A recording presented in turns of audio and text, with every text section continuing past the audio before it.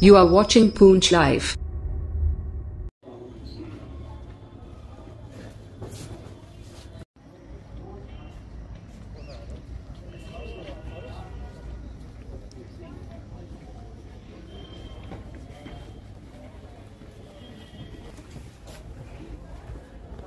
देखी तो कोई वन वे लाख पेमेंट निकली है और एज इट इज़ बाहर रोड पे फ़र्स्ट हो रहा है।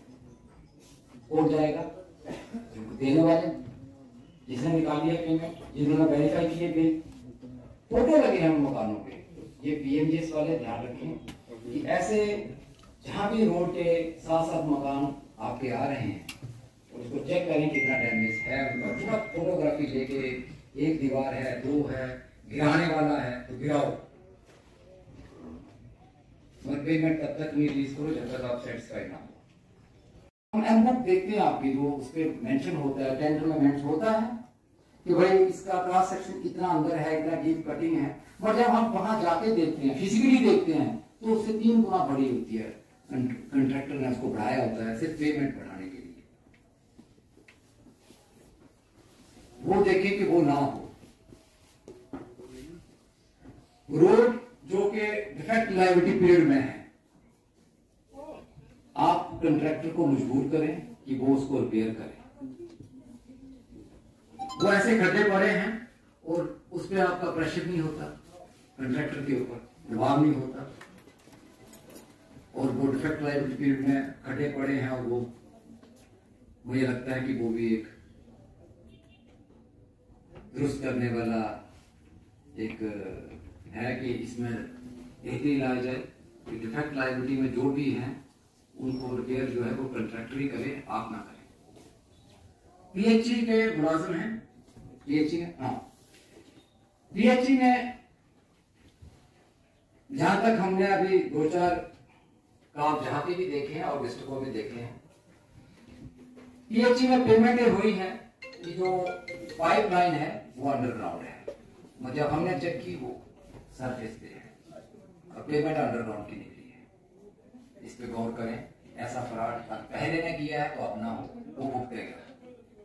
दूसरा पीएचई में ये भी हमने देखा है, कश्मीर में पर्चा लगा है, कि जो लेआउट ऑफ़ पाइप है, अगर सपोज़ पुंछ से आप दिखाते हैं कि पुंछ से मंडी हमने पाइप बिछाई है तो उसका जो मार्क है, वो उसको इस ढंग से करें कि कोई भी सर्वे करने वाली टीम आए तो उसको लगे कि ये पाइप इस रास्ते से गई है।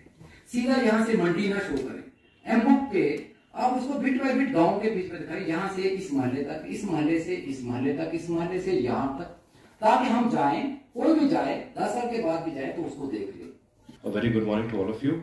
Uh, I think आज का लेक्चर uh, एक बड़ा ही एक्सेप्शनली पावरफुल लेक्चर रहा होगा आप सबके लिए जिस तरह की ऑब्जर्वेशंस जिस छोटे साहब ने बताई वो हमें खुद in fact even as district administration जब हम भी कभी इंक्वायरीज करते हैं या मतलब डीवीओ थ्रू इंक्वायरी करते हैं या रूटीन में जो भी हम सुपरविजन या मॉनिटरिंग करते हैं उसमें भी हम मिस कर जाते हैं जिस तरह की बातें आज छोटे साहब ने बताई और आज के इस लेक्चर का पर्पस यही था कि we should hear it directly from the horse's mouth जो एंटी करप्शन एजेंसी है हमारी A C B anti corruption bureau which is at the helm of investigating all bribery और करप्शन रिलेटेड इंसिडेंट्स उनकी क्या learnings uh, हैं? वो हमसे directly share कर सकें ताकि हम अपना वर्क कंडक्ट इंटेग्रिटी और रोज़मर्रा की जो भी डीलिंग्स हैं उसको कम्प्लीटली स्पॉटलेस बना सकें।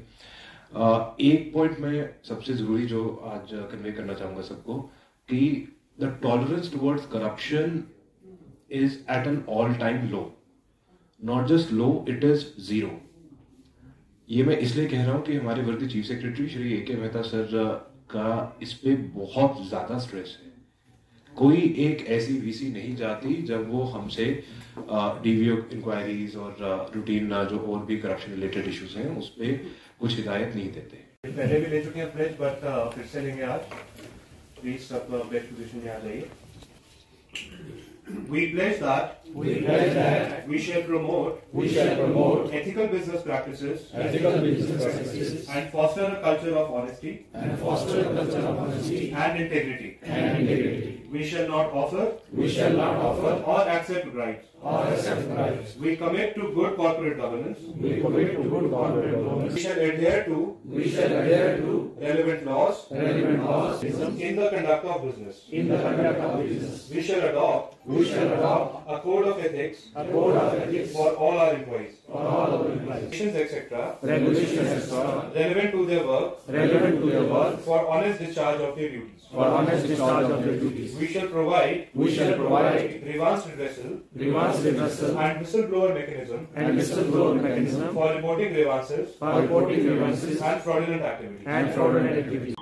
आज आप जानते हैं कि विजिलेंस अवेयरनेस वीक जो है वो तीस तारीख से और तीस तारीख से लेके पाँच तारीख तक चल रहा है ये विजिलेंस अवेयरनेस वीक जो है ये सरदार वल्लभ भाई पटेल के बर्थडे वीक के ऊपर पूरे देश में मनाया जा रहा है और आप जानते हैं कि Vallabhbhai Patel he was man of high integrity और विजिलेंस के ऊपर सरकार का जो है, बड़ा सख्त रवैया है और हम चाहते हैं कि विजिलेंस जो अवेयरनेस प्रोग्राम है, वो देश के हर कोने में इसका असर हो और हमारे जितने भी सोसाइटीज़ हैं, हमारे समाज है, वो विजिलेंस में करप्शन फ्री सोसाइटी बने और हमारे देश में अमन और शांति और डेवलपमेंट